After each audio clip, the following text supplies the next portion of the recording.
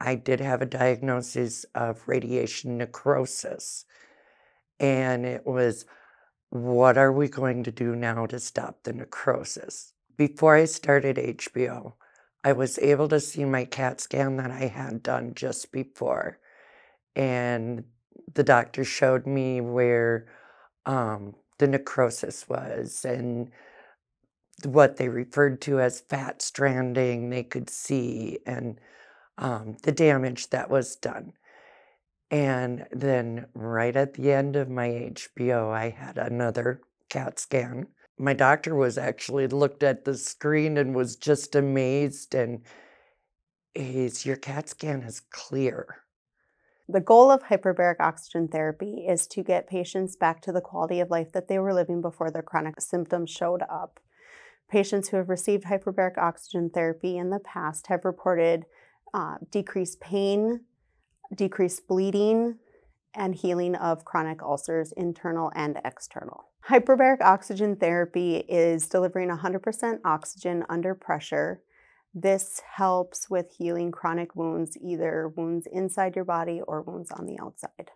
It's important for patients who have beat cancer uh, to know that they don't have to live with the side effects of that radiation treatment, that there is a treatment option that might help improve their quality of life.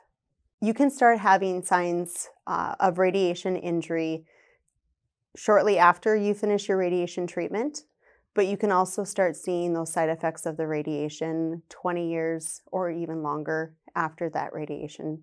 It can be really hard to tell if that chronic problem that you're having, that pain, the bleeding in your bladder, um, if it was from the radiation that you received 20 years prior.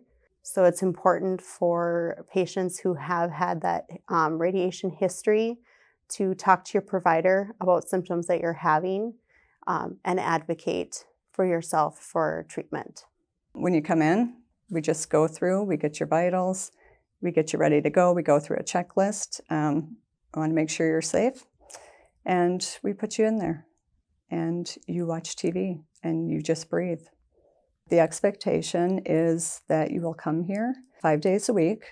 We are hoping for two and a half hours of your time and that can be for six to eight weeks. And we do keep in mind that they've already had a long medical journey already.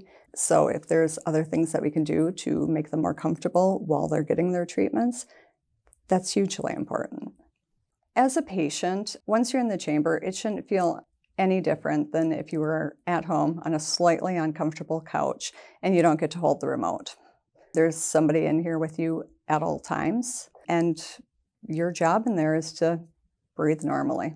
You can nap, you can watch TV, movies, listen to CDs, whatever it takes to get through the treatment.